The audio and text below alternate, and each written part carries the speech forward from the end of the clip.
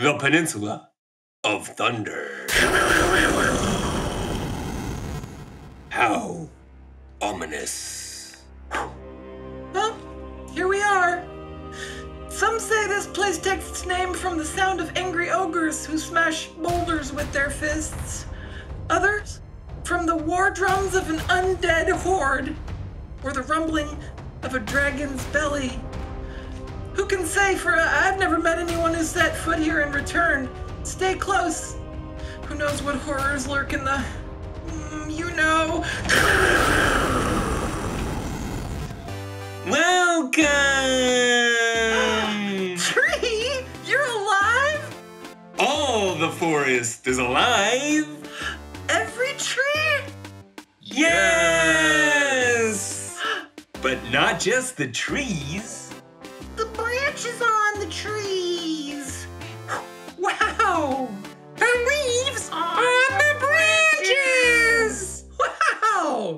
And even me, a worm on a leaf, on a branch, on a tree.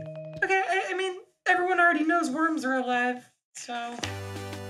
Here in the Peninsula of Thunder, everything is alive! The rocks are alive! The dirt is alive. And me, that worm from earlier.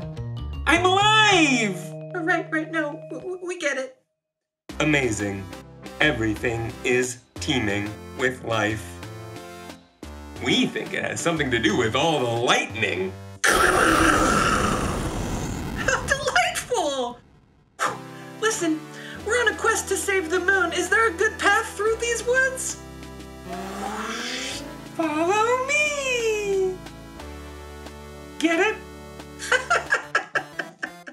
well, forest, we must take our leave.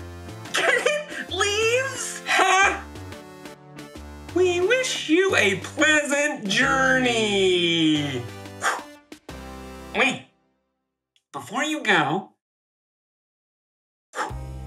would you like to hear a poem? Um, You'd be doing us a favor if you indulged him. It's titled A Celebration of Life. Uh, hold on, let, me find my glasses. Um,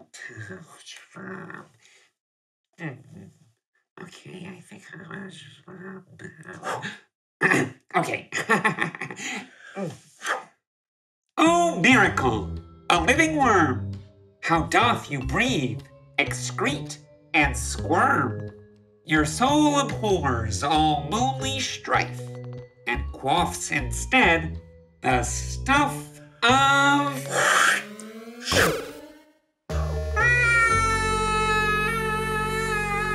Um, we should probably get going. Path, where are you leading us? Get it? You're on the way. Get it? to the Sea of Tranquility. You know, I always thought the Peninsula of Thunder sounded so ominous, but it turns out to be a very pleasant place. Your Majesty, names can be misleading. Okay, we have arrived at the Sea